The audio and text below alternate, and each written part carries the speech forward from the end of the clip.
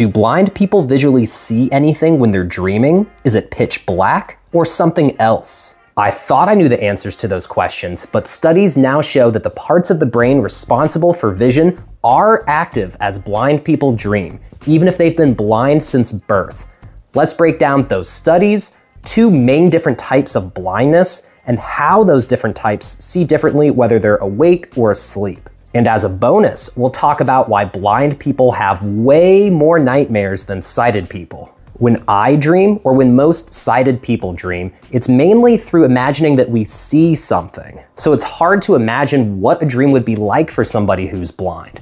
It's important to note that not all blindness is the same. You may have been able to see at one point, but then you lost your vision because of degenerative eye conditions or maybe an eye injury or people could have been blind since birth, which is called congenital blindness. Dreams and vision overall are very different for those two groups. Let's start with the people who became blind later in life, which is known as acquired blindness. At one point, they had a working connection between their eyes and their brain, but they lost it. When they're awake, what they see depends on how long they've been blind and what made them blind. A lot of people think that blind individuals see pitch black, as if we just shut our eyes. This is almost always not the case unless their optic nerves or their visual cortex in their brain are completely non-functional. And this small group of people who lost their vision entirely mainly describe their visual experience as nothingness rather than blackness, as blackness can still imply a visual thing that you can see. You can picture what blackness looks like. To try and understand what nothingness means, imagine what you see right behind you. I don't see in front of me and then there's black that I perceive behind me. There's just nothing. I don't have a visual signal of what's behind me. So that's the nothingness that we're referring to. There just isn't a visual signal going to your brain. The majority of people with acquired blindness still see something. They can often still perceive light, shadows, or vague shapes, depending on their condition. For example, here's what some different eye conditions that can cause blindness would look like if you had it. They can just make your vision so bad that you're considered legally blind. Something called Charles-Bonnet syndrome also causes people with acquired blindness to hallucinate glows or flashes of light.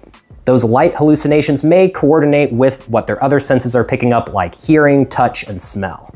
Now, before talking about what people with acquired blindness see in their dreams, let's talk about what people with congenital blindness, people who were born blind, see when they're awake. Again, this group has never had a working connection between their eyes and their brain. Just like that small group of people with acquired blindness who completely lost their vision, they would perceive more of nothingness rather than blackness. I know it may be hard to really understand the difference between those two things again. For me, the idea of darkness or blackness is defined as the absence of light. So it's a contrast to that, like when I'm looking at something and then close my eyes. But for somebody fully blind since birth, they don't have light perception to contrast with darkness. Like I said before, imagine what you see behind you. It's nothing, not black. All right, now we understand what the two main groups, acquired blindness and congenital blindness, see when they're awake. Let's talk about what they see when they dream. For those with acquired blindness, they used to be able to see. Their brain has experienced past visual stimuli, so can draw from that to recreate visual scenes as they dream, even if their vision has degraded to the point where they can't see clearly during the day anymore. Depending on how long somebody has been blind, that vision in their dreams could start to fade as they just remember less and less of what it was like to see clearly. But MRI scans have shown that people with acquired blindness have the visual sections of their brain active as they're dreaming. They can also experience Charles-Bonnet syndrome as they sleep, seeing glows or flashes of light. I clearly can't directly relate to their experiences since I'm still lucky enough to have functioning vision, but I would imagine that it would be really hard to not be able to see during the day because you have acquired blindness, then be able to see at night in your dreams just to have to wake up and not be able to see anymore. So a lot of sympathy for people who experience that. But now let's get to the really interesting stuff and talk about the dreams of congenitally blind people and those studies I referenced at the very beginning of this video. I used to assume that congenitally blind people would just dream in their other senses, hearing, smell, touch, while still seeing nothing like they do when they're awake. Their dreams definitely do place a larger emphasis on those non-visual senses than the dreams of sighted people, but studies as far back as 2003 and more recent ones show that the same brain areas responsible for visual processing are active during REM sleep in congenitally blind people. MRI scans suggest that these brain areas might create abstract or non-traditional forms of visual imagery. This supports the idea that the brain can simulate visual experiences even in the absence of actual signal going from your eyes to your brain. But they wouldn't visualize full scenes like an apple or a house because they don't have the visual context of seeing those things in real life. It's very likely more like Charles Bonnet syndrome, with glows, flashes, and other abstract patterns. There's even more to this though. Let's talk about how the dreams of congenitally blind people compare to the dreams of unborn fetuses who have never really opened their eyes in the real world. Prenatal studies of fetal brain activity do show that the visual cortex of a fetus is active as they're dreaming in the womb, potentially priming the fetus for visual experiences once they're born and actually go through life. Congenitally blind people may tap into some form of the same capability to create those abstract visuals as they dream outside of any actual signal coming in from their eyes to their brain or even a recorded memory of doing that. One part of the studies that was the hardest thing for me to wrap my brain around personally was how when the researchers then ask the blind people, what do you see in your dream? Do you visually see anything? They would say that they don't.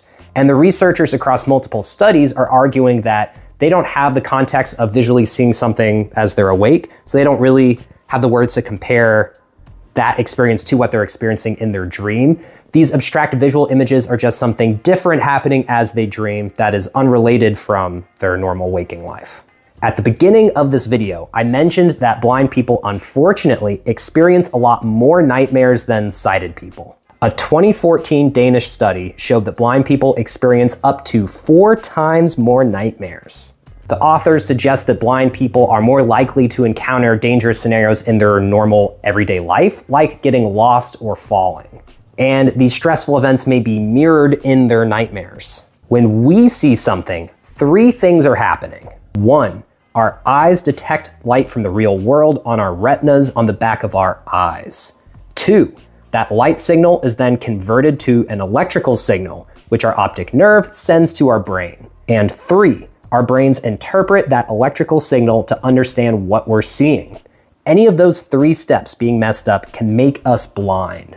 When we're dreaming, only the third out of those three steps is actually happening. Our brains fire in ways that draw on our visual memories, making us think that we're seeing something. It seems that the same process happens in the brains of blind people, even if they've been blind since birth. This may open up other weird existential questions like the subjective nature of what we see in the first place. All studies and other references I use for making this video are linked in the description below. If there's another eye-related topic you'd like me to dive into, please leave a comment and I'll make a follow-up video. Thanks.